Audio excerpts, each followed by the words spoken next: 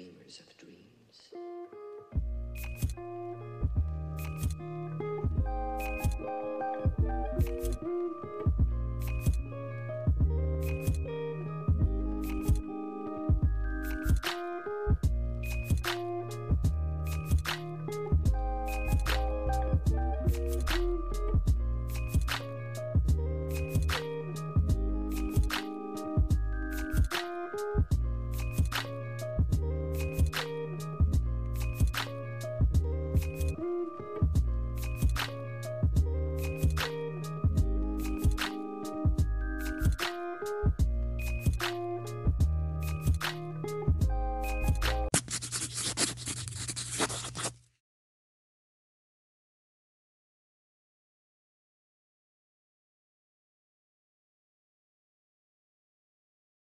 Mathematics, or numbers, is the cradle of all creation.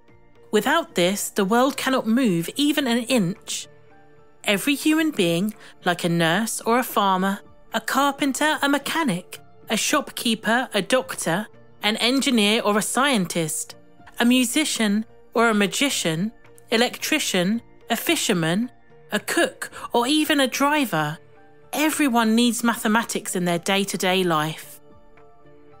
Even animals, plants, and insects have the golden ratio, the geometrical pattern they use mathematics in their everyday life for existence. Or I might say, our universe, our very reality, is made of math, including you. Did you know that you can find the secret of the universe just by using mathematics? I want to start with a very basic concept the vortex based mathematics from the root word vortex. Vortex is a region in a fluid in which the flow rotates around an axis line, which may be straight or curved. You can see the vortex pattern in all things, like in your DNA, nature, and even in the universe. Marko Rodin's original claim was that he had tapped into it and he could model mathematically a previously unobserved invisible energy.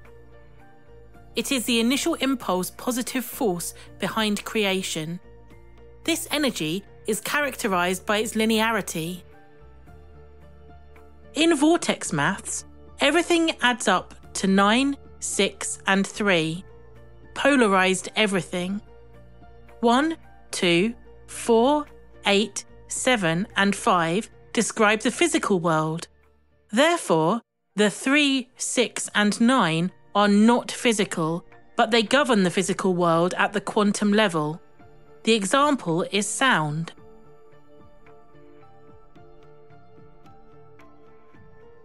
Sound releases frequencies or vibrations. Understanding that all living things are vibrational, meaning it is the control the standard upon which all creation is based. Here is the example of a symbol. I know some of you are familiar with it. Marko himself refers to it as a symbol of enlightenment. I know some of the secret societies have deep knowledge about this. They use a geometrical pattern to govern the world.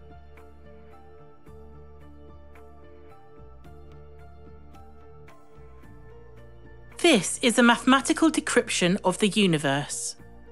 Around the circle, we see all the numbers. We start with 1, 2, 3, 4, 5, 6, 7, 8, and 9.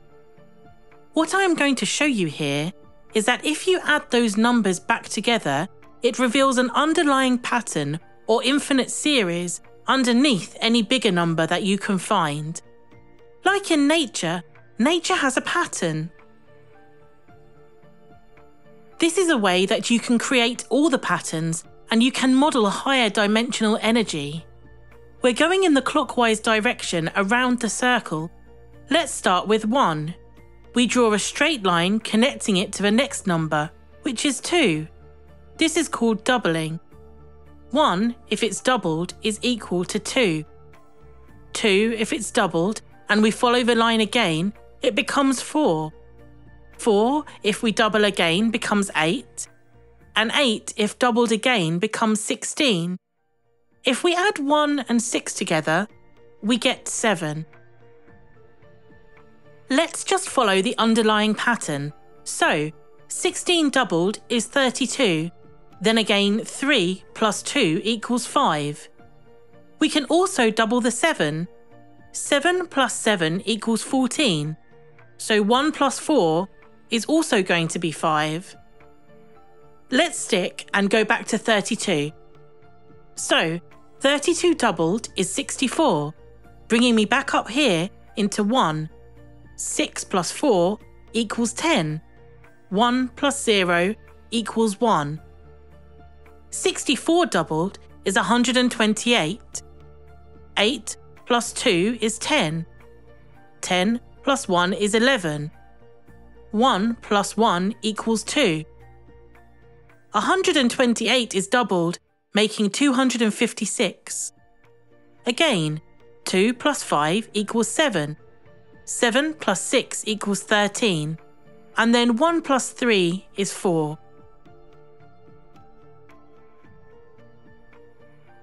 By continuing, 256 doubled is 512, again reducing back to 8. 512 doubled is 1024, which reduces back to 7. 1024 doubled is 2048, which reduces back to 5. No matter how many times you go around, there is no possible way to break this infinite sequence. It always goes back to the start, and it has no end. All the numbers are equally important, but the 9 is the king or the queen of the system. It is the control of everything else. So, what happens if you double the 9?